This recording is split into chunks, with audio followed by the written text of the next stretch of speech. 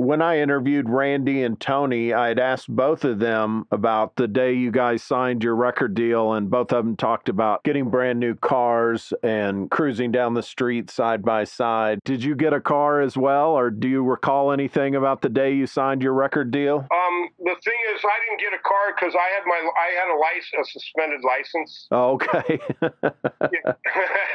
I had I had already uh, um, by that time I had already had, I was on my fifth DUI. Holy shit. You've got your fifth one by 1984? It could have been my, my fourth.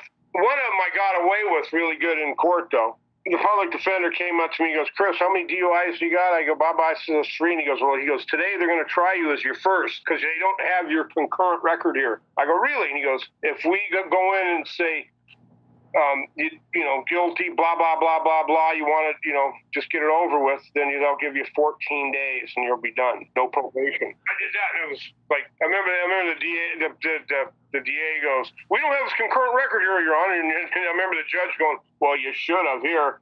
Boom, and slammed his little handle down. And the lawyer for me goes, "Come on, man, we just shafted him." but it was, it was, you know what? It, I got my last DUI '96 really 95. Is that what was, you sobered up after that? I just, uh, yeah, that's where I actually decided that maybe I need help with alcohol. Uh-huh. I went and got help. Got went to a program.